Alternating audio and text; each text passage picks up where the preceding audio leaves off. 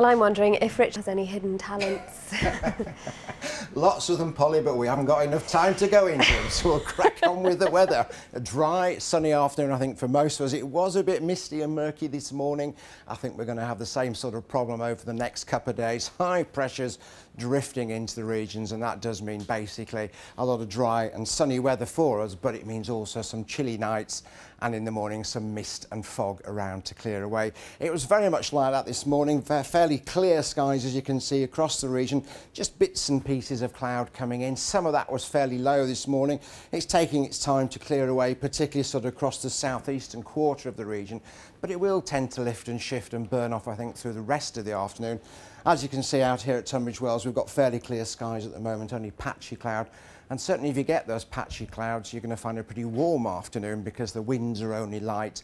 It's coming in from the southwest at the moment. That's a mild direction. So really, I think temperatures are going to nudge up to 17 and 18. We might see some of the warmer spots as high as 19 Celsius. So we're up into the mid 60s Fahrenheit, which is pretty good for this time of year. Tomorrow, it's the same sort of story. Overnight, it's dry and clear. It's going to be chilly again. Some mist and fog patches around for the morning. A bright start then kicking off for Friday. And as we go through then into the weekend, the high pressure takes control, and that very much leaves us with those sunny spells and temperatures tomorrow similar to what we've sort of seen today 17 to 18 and the same sort of story I think as we go through into the weekend. So some pretty good weather to come for Saturday and Sunday. That's it. Here's Polly. Thanks very much. You can come back again. Thank oh, thank you.